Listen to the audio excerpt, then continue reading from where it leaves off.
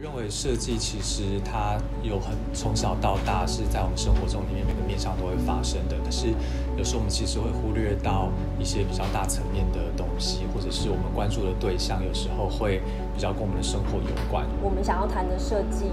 比较不是，呃，我们可能一般直接想到的那个设计，这个设计是，呃，可能是应用在他们怎么去设计他们公司设计这个品牌。包括它的品牌定位，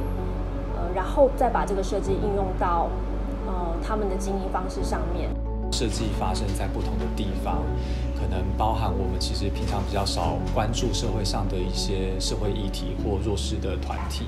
那也包含说从地方长出来的一些力量。从土地长出来的设计，我们可以呃看到地方的这一大群人为地方做的努力，以及。